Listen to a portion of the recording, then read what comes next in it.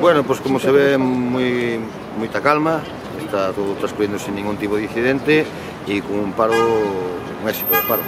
Estou falando con todas as comarcas do país e está parado prácticamente todo no país.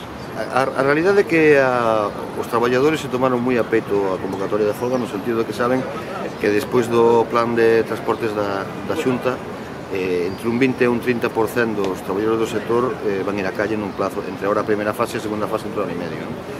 e entón pois, realmente hai, moita, hai moito nerviosismo no sector e, e, e o certo é que a xente está parando prácticamente sin decir nada. O primeiro motivo que os convenios están sin firmar, eh, en, en Pontevedra en concreto, vamos desde o ano 2011 sin convenio, e ese é un dos motivos da folga. E logo o plan de transportes, eh, a propia Xunta ten manifestado en medios de comunicación que vai a suprimir 500 rutas escolares.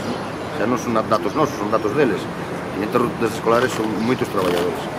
Logo, cando vimos os planes de transportes, con todas as rebaixas eh, que ten, porque os orzamentos do, da partida dos salarios dos traballadores están moi por debaixo do que vimos convenios. Por tanto, non o que percibimos detrás de todo eso, a parte de paro, é eh, precariedade no, no sector, contratos a tempo parcial, e, por tanto, que se está facendo ahora mismo é, por un lado, un recorte no transporte escolar e, por outro, unha reconversión encoberta do, do sector, desde o punto de vista laboral.